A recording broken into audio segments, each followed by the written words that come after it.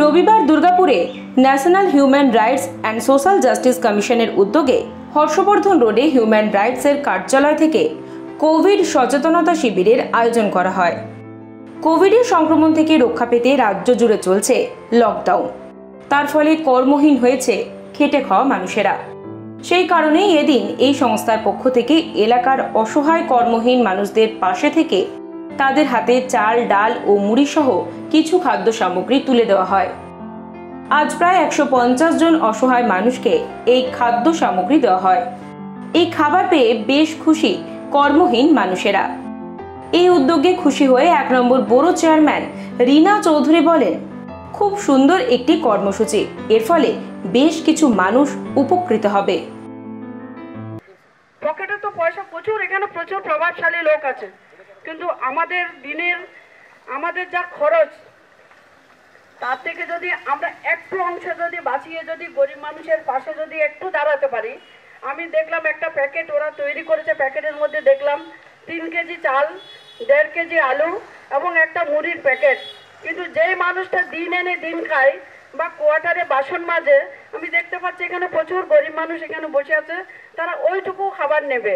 এদের প্রয়োজনের তুলনায় কিন্তু কিছু, কিছুই না। কিন্তু তা সত্ত্বেও এই যে গরিব মানুষকে তারা সম্মান দিয়েছে, এই সম্মান দেওয়াটাকে আমি প্রায়োরিটি দিচ্ছি। অপরদিকে সংস্থার রাজ্য সম্পাদক সেবক ব্যানার্জি জানান, করোনার কারণে প্রচুর মানুষ অভুক্ত অবস্থায় দিন কাটাচ্ছে। তাদের হাতে সামর্থ্য অনুযায়ী খাদ্য তুলে দেওয়া হয়। আমাদের আজকে মূলত অনুষ্ঠানটা হচ্ছে রাষ্ট্রীয় মানবাধিকার এবং সামাজিক ন্যায়াগের পক্ষ থেকে আমরা এই যে করোনা ভাইরাস কোভিড নাইন্টিন যে সিচুয়েশন এই কোভিড পরিস্থিতির মধ্যে দিয়ে যেসব মানুষরা এই লকডাউনের মধ্যে ঘর বন্দি হয়ে রয়েছে, যাদের দিন আনা দিন খাওয়া, যারা খেটে খাওয়া মানুষ, যারা গরিব, দুস্থ, অসহায় রয়েছে সেই সব মানুষদের কথা ভেবে যদিও বর্তমান রাজ্য সরকার, কেন্দ্রীয় সরকার থেকে বিভিন্ন রকম তাদেরকে সহযোগিতার হাত বাড়িয়ে দিয়েছে আমাদের ক্ষুদ্র প্রয়াস যে আমরা রাষ্ট্রীয় মানবাধিকার এবং সামাজিক ন্যায়াগের পক্ষ থেকে তাদের হাতে কিছুটা হলেও খাদ্য তুলে দেওয়ার চেষ্টা করেছি। আমরা জানি না কতটা কি করতে পারব, তবে আমাদের আমাদের যা ইচ্ছা যে আমরা যতদিন এই লকডাউন চলবে, আমরা প্রতিটি মানুষের গরিব দুস্থ, অসহায়, খেটে খাওয়া মানুষদের হাতে আমরা তাদেরকে খাদ্য তুলে দেবো এবং বিভিন্ন জায়গাতে স্বাস্থ্য দপ্তর থেকে, প্রশাসন দপ্তর থেকে শুরু করে বিভিন্ন জায়গায় যেসব ক্লাব বা মন্দির, মসজিদ গির্জা যেসব রয়েছে, সেসব জায়গা আমরা স্যানিটাইজ করব এবং প্রত্যেকটা মানুষ মানুষকে আমরা সচেতন বার্তা দেবো। এই সমাজকে একটা সচেতনমূলক বার্তা দিয়ে তাদেরকে যেন মাস্ক ছাড়া যেন কোনোরকমভাবে যেন বাইরে না বেরোয়, সবাইকে অনুরোধ করব। এই সব প্রোগ্রাম আমরা রেখেছি। আজকে আমাদের এই দুর্গাপুর, পশ্চিম বর্ধমান দুর্গাপুর হর্ষবর্ধন যে কার্যালয়, সেই কার্যালয়ে এই অনুষ্ঠান আমরা ছোট্ট করে রেখেছিলাম। এই খাদ্য বিতরণের পাশাপাশি তারা বিভিন্ন এলাকা স্যানিটাইজ করছে। আমাদের পক্ষ থেকেও এই সংস্থার শুভ উদ্যোগকে সাধুবাদ ও অভিনন্দন জানাই।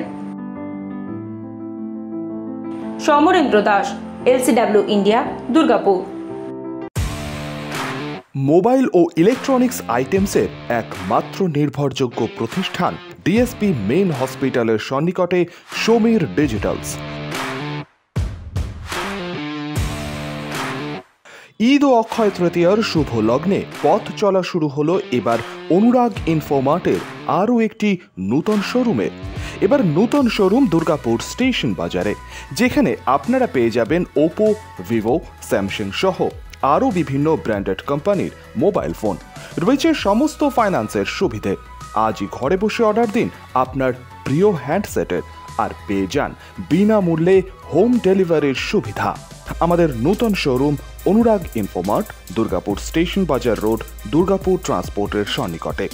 যোগাযোগ number nine six one four zero six one double five eight অথবা nine double three two five four three six five zero Anurag Infomart electronics আইটেমসের একমাত্র নির্ভরযোগ্য প্রতিষ্ঠান।